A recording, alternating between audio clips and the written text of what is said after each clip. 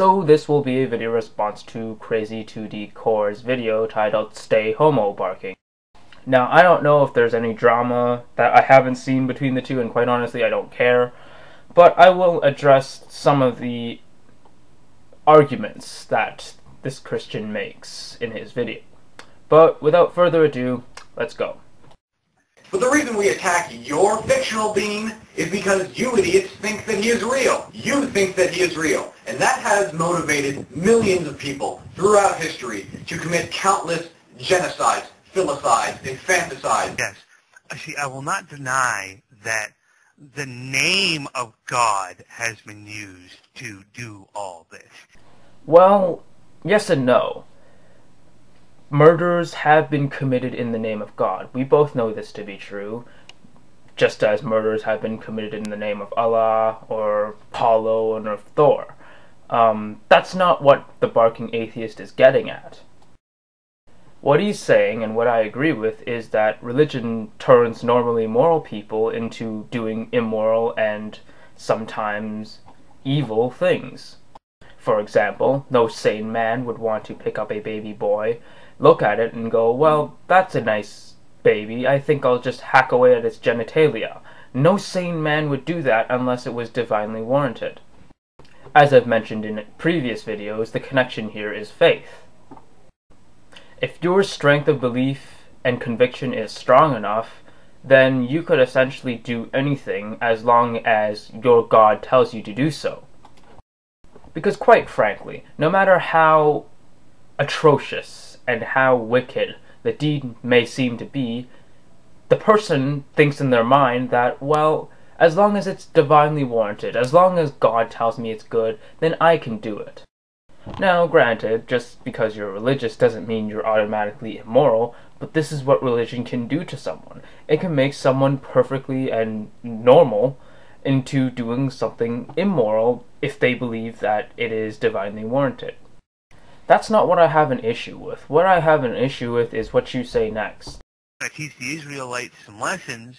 I could see, yeah, God did some things, but I mean, that's kind of like no worse than than than uh, you know punishing your child. That's what God was doing. He was punishing his children. Judging by the casual and rather offhand way you compare how a father would punish his child to how God would punish us human beings really raises some questions about who you are. Either you do not understand the severity of the comparison you just made, or you either do understand and you don't care. And I hope that it's the former option and not the latter because even though I find both options rather reprehensible, I would prefer the first one any time. Because, well, then I would be happy to explain to you the large difference in how a father punishes his child compared to how God punishes us human beings. Quite frankly, I don't think it's morally acceptable for a father to rape his child if his child is misbehaving, nor do I think that his father has the right to starve his child or physically abuse his child in any way. I also don't think that any sane father would put his child in harm's way, the way God would put Adam and Eve into temptation. I mean, there is no way a sane father would do such a thing. And of course, no sane father who claims to love his son or his daughter would ever put them in eternal suffering if they didn't agree with it. That's not a father, that's a tyrant. And yes, God is a tyrant. So somehow, genocide, infanticide, filicide, murder, rape, theft, and all sorts of other atrocities are perfectly justifiable if a few of us live long enough to learn. I really hope that that's not the implication you're trying to get at. Religious folk fight against gay rights. They fought against women's rights. They fought against freeing the slaves. It is easier, it is much easier to take the bigoted position because the Bible states explicitly that women are not equal to men, that slaves should be beat, that gays should be killed. Yeah, um, well, number one, homosexuality is an abomination. Um, it doesn't say anything in there about killing them. It's just that they're an abomination. I mean, women are supposed to be servants to their spouse. Um, they're supposed to, according to the Bible, they're supposed to be, you know, just baby makers and housekeepers. And slaves, well, you know, wouldn't you like to have somebody that, you know, goes around and and does all your work hard work for you? I mean, isn't wouldn't that be just ideal for you? I mean, what's the difference between having paid servants and slaves? Again, it seems to me that you have either not read your Bible or you haven't read it properly, because there are several phrases that condemn homosexuals with the death penalty. As for whether or not homosexuality is a, an abomination, as you put it, that's really a matter of personal opinion. And I, for one, do not agree with you here because, well, there's nothing wrong with it.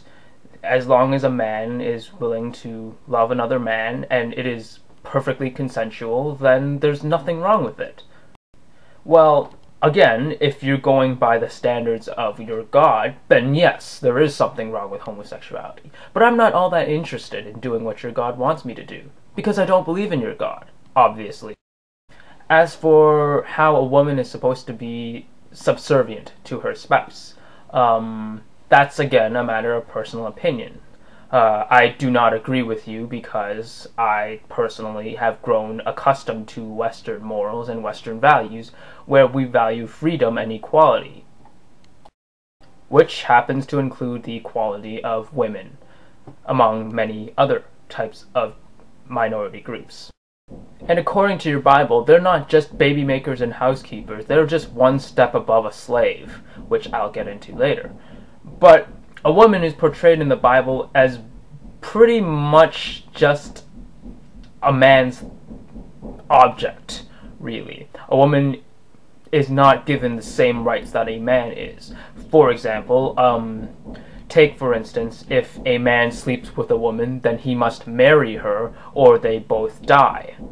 That clearly is an indication that the Bible does not treat women with the respect that they do deserve and I'm hoping for all intents and purposes that you do not support this rather barbaric and um, unreasonable practice.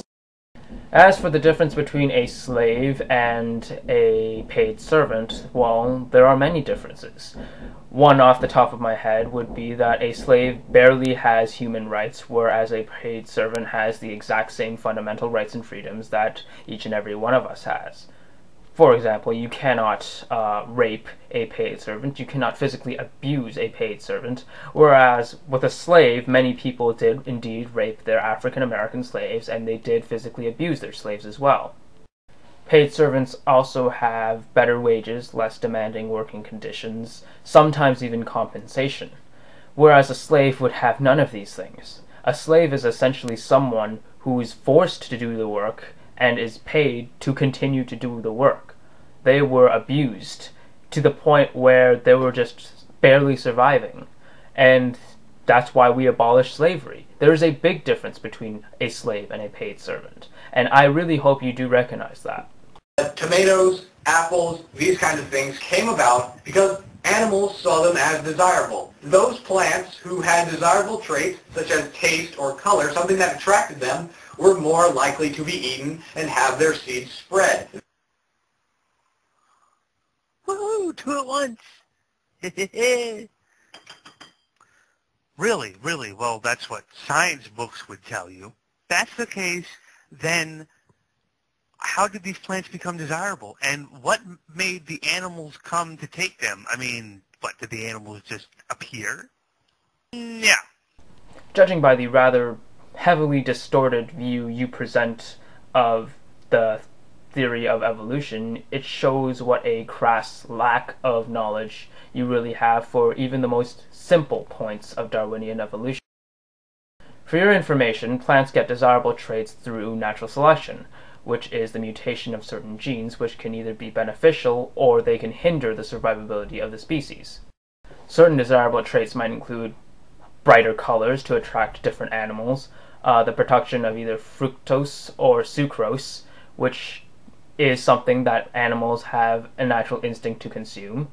Certain flowers are even uh, patterned in such a way as to attract pollinators to them. As these traits are desirable, they will be passed on to the future generation to ensure survivability. If a trait is not desirable, and that if a trait hinders the survivability of a species, then that trait is either weeded out, or then it won't appear as often in the genetic code as desirable traits.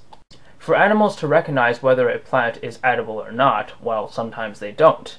But nature can give certain indicators to animals as to what is edible and what is not. For example, um, sugars are a very good indicator of what is edible, and certain colors are nature's way of saying, well, this plant is edible and this plant is not. So, time for me to go. If you have any questions, let me know down below. Thanks for watching, and may the truth always be heard.